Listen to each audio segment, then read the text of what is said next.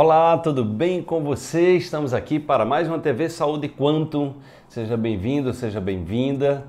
A TV Saúde Quanto, se você não sabe ainda, é um programa do nosso canal Wallace Lima, onde eu respondo uma pergunta por semana, tá? Se você tiver uma pergunta interessante, aproveita e já deixa aí nos comentários que será um prazer, quem sabe, responder na próxima semana aqui para você ou em outra oportunidade. Nós trabalhamos de uma forma bem ampla, é, abordando assuntos da neurociência, da física quântica, da física moderna, né, que envolve a física relativística também, é, da epigenética, voltado para o empoderamento pessoal, para a autocura, o conhecimento do corpo, das células tronco, ou seja, uma relação melhor consigo, de forma que você possa se libertar da dependência química dos medicamentos e ser uma pessoa mais feliz, mais saudável, empoderada e também comprometida em fazer do mundo um lugar melhor para as futuras gerações, para nós mesmos, para as futuras gerações vivermos cada vez melhor.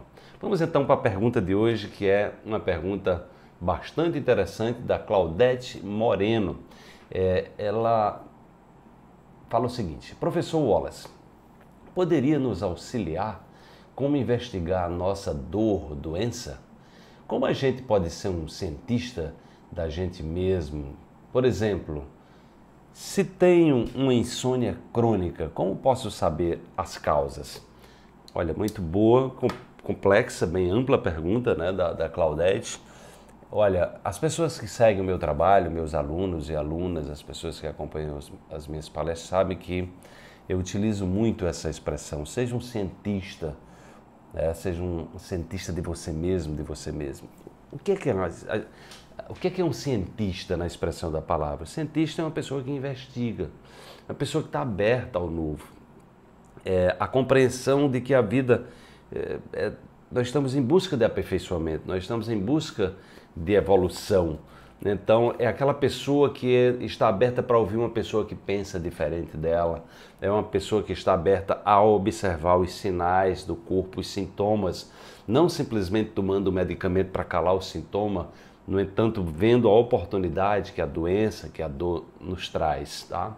Então, Claudete, na perspectiva que nós trabalhamos, a dor, a doença, um acidente, uma perda, tudo é uma oportunidade. Não existe nenhum propósito da vida, do universo, de Deus, seja lá a interpretação que você queira dar, de nos fazer mal. Muito pelo contrário, é sempre evolução, é sempre crescimento.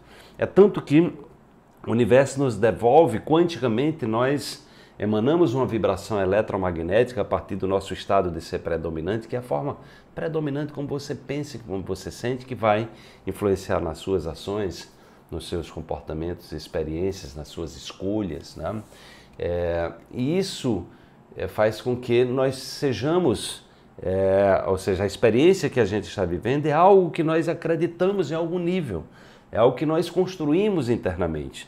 Então a primeira coisa é a gente entender que a responsabilidade pelas coisas que estão acontecendo na nossa vida é única e exclusivamente nossa. Aí você diz, mas por que, eu sou responsável por tanta coisa ruim, pelas coisas que não dão certo? Olha, veja bem, se você se decidir a ficar olhando, arrumar culpados para a sua vida, seja seus pais, seja seu marido, ex-marido, esposa, ex-esposa, seja lá o que for, significa que sua vida só se transforma né, a depender da mudança de alguém. E isso é muito complicado, a gente está esperando alguém mudar para que a nossa vida mude.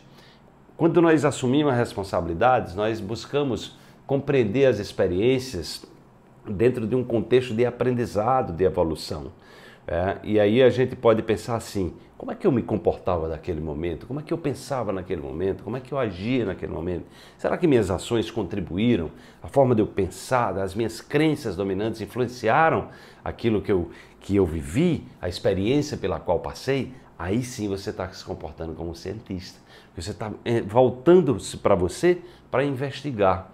Então hoje se eu dou uma topada, eu olho meu estado mental. Então é normal quando eu dou uma topada, é muito comum eu estar distraído. Bato a perna, o joelho na quina de uma, de uma mesa, estou distraído. Então aquilo ali me ajuda a manter o foco, manter o estado de presença. Então nós podemos observar o que está acontecendo na nossa vida e buscar essa compreensão. Claro que há uma complexidade ainda maior, porque nós somos seres que vivemos dentro dos sistemas familiares.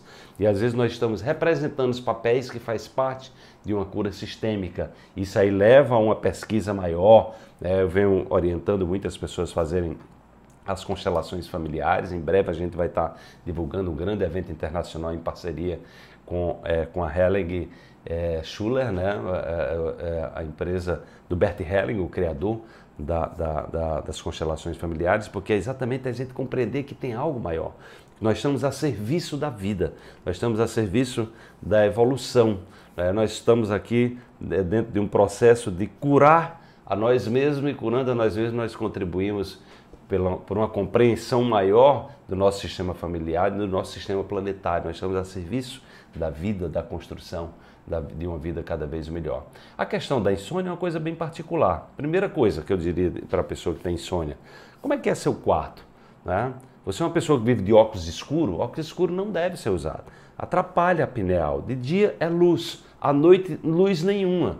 Então no seu quarto não deve ter nada que tenha, nem um ponto de luz, nem um celular carregando. Né? Se você precisar botar um celular carregando por alguma necessidade, bota um pano cima, bota alguma coisa. Então, pessoas enchem o quarto de televisão. De, né? Então, à noite vai no banheiro, vai com luz apagada, porque a luz ativa a sua pineal. Evita tomar muito líquido antes de dormir para não estar acordando muito no banheiro. É, principalmente se você acende a luz, vai tanto ir no banheiro muitas vezes, como também é, com luz você vai atrapalhar. Evita as bebidas estimulantes antes de dormir, evita comer muito antes de dormir. Né? Então, é, comida leve antes de dormir, procura comer mais cedo.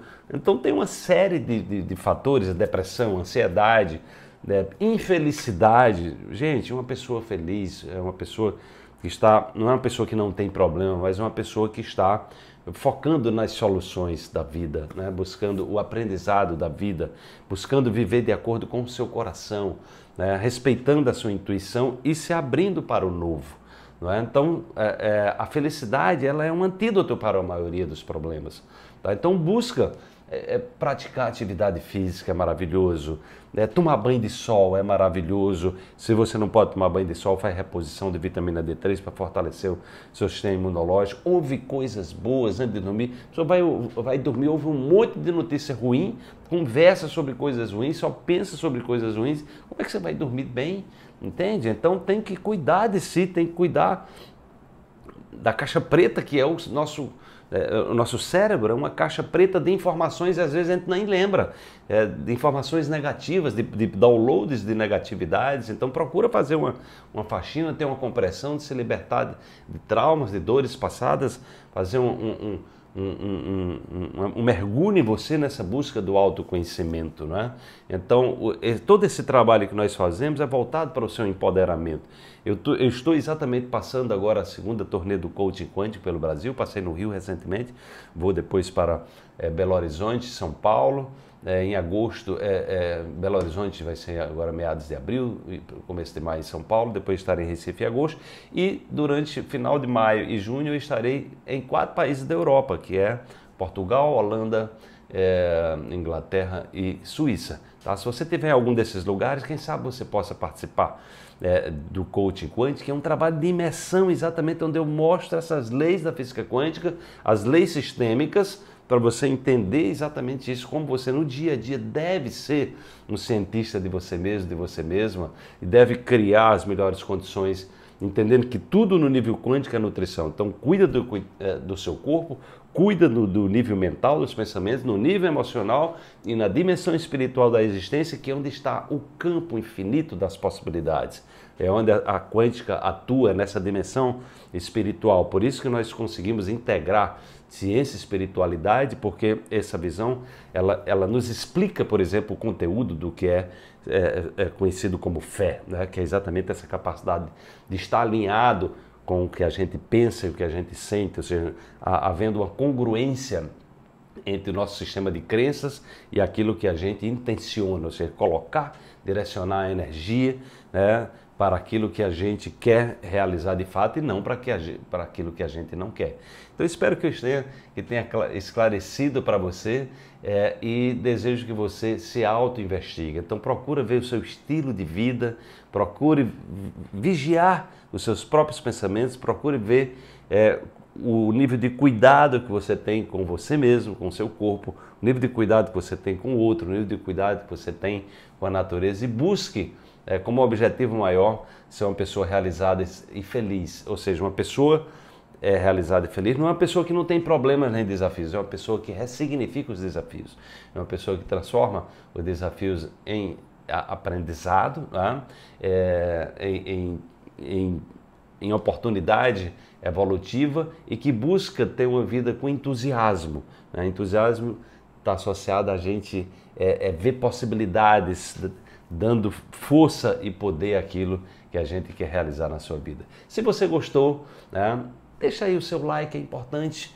Né, porque mais pessoas vão terminar acessando esse conteúdo. Compartilhe também, lembre que tem um sininho aí. Se você quiser estar é, recebendo as notificações do nosso canal, nós temos quatro vídeos por semana temos uma meditação por semana, temos o, o, o, Minuto Quântico, que é uma dica rápida, um conteúdo muito interessante. Temos o Despertar Quântico, que é uma reflexão existencial que eu faço todas as semanas também. Um grande abraço, deixe, lembre também de deixar o seu comentário e se você tiver uma pergunta interessante, deixa aí, que será um prazer em outro momento estar respondendo para você. Um grande abraço. E se você estiver em alguma dessas cidades que eu falei, quem sabe a gente não se encontra ao vivo é, no curso do Coach Quântico. Um grande abraço e até a próxima semana.